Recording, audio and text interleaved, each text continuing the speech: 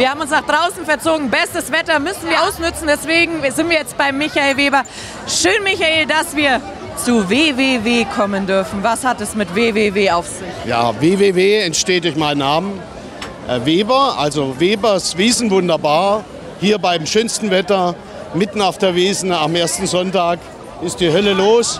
Und bei uns gibt es super kalte Getränke, einen schönen Gin Tonic, ein äh, Aperol Spritz, der heute der Renner ist. Und unsere spezielle, super Spezialität auf der Wiesen, frisch gemacht von mir, ein Erdbeerleimes. Das ist von dir frisch gemacht? Von mir frisch gemacht.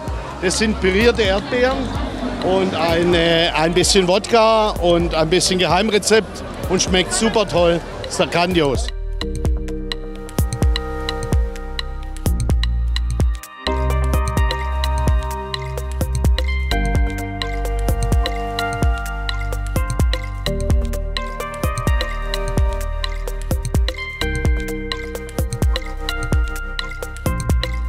Ein bisschen Geheimrezept, so unter uns zwei. Kannst du vielleicht da so ein, zwei Sachen sagen? Nicht alle?